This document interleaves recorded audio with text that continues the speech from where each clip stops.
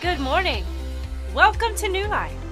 What a joy to have you join us for our morning worship. I am Venetia Graham, and I have your news for this Sunday, February 18th. We are still celebrating Black History Month 2024, African Americans and the Arts. Did you know that Phillis Wheatley was the first African American author of a published book of poetry? The New Life office will be closed tomorrow for President's Day, but will reopen on Tuesday morning.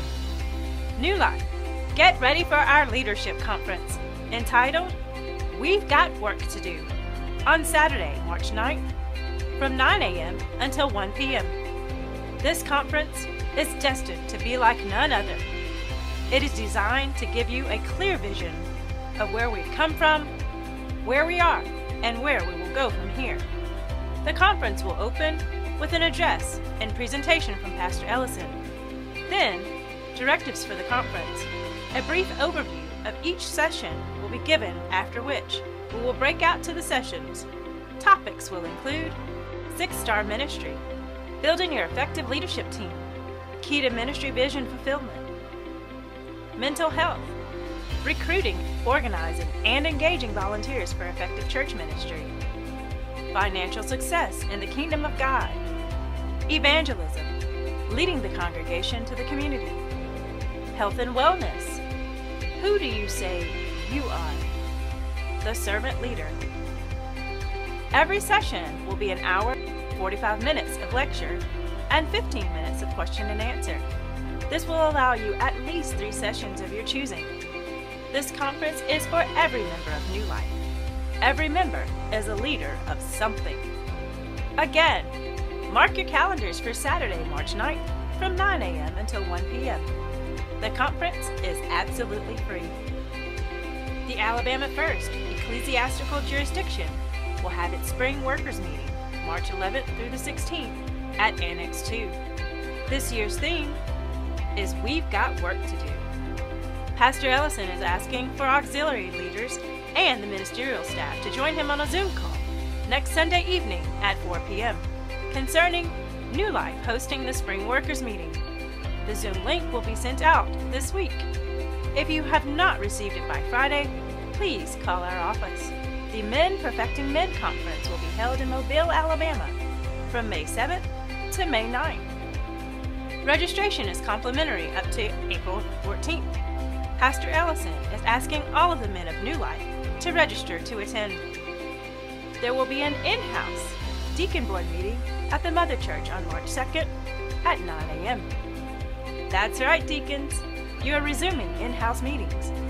For the ones who cannot make it to the in house meeting, please use the dial in number as usual. There will be a Deacon's Wives Meet, Greet, and Fellowship on February 24 at Annex 6, beginning at 10 a.m. All Deacon's Wives are encouraged to attend. District Missionary Marcella Peoples will be the guest speaker. 400 Filmwork Productions presents A Nation Within. I always like to say that you've heard of the Tulsa, Oklahoma Black Wall Street. You've heard of Harlem Renaissance. What you've not heard of is the Tuskegee story, which presents itself as a model for black nationalism by blacks owning, building, controlling communities.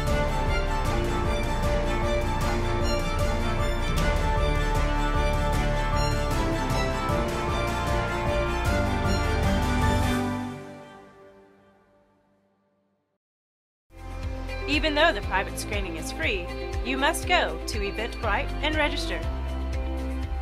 Attention all Carver, JAG, and Central High School students. You have an opportunity to join the Upward Bound Math and Science program at Alabama State University for free. Please see Evangelist Kimberly McKinney for more details about joining this free program. Youth Bible study is every first and third Tuesday night, and youth choir rehearsal is every second and fourth Tuesday night at Annex 2 in the cafeteria. Both start at 7 p.m. and will end at the conclusion of Tuesday night Bible study. Girls' dance practice will be every third Saturday from 10 a.m. to 11:30 a.m. at Annex 6. Join us in person for Bible study on Tuesday nights at Annex 2, beginning at 7 p.m.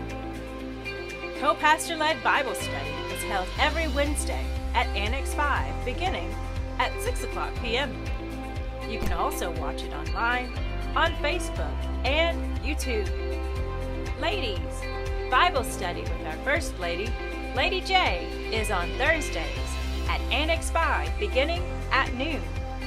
Don't forget to join us at 7 p.m. for virtual Sunday school on Saturday nights.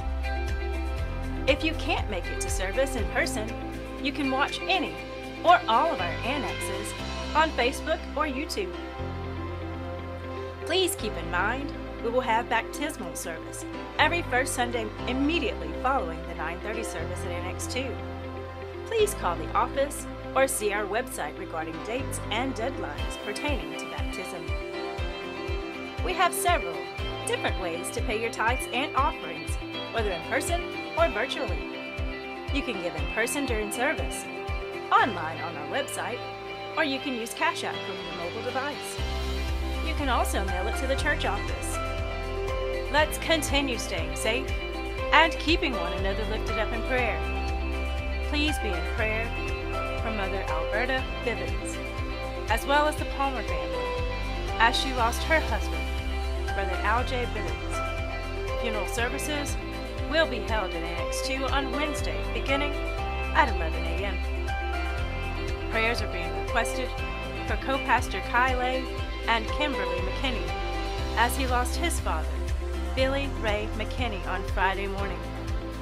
Services will be announced. And our thought for the week do the best that you can until you know better. Then, when you know better, do better.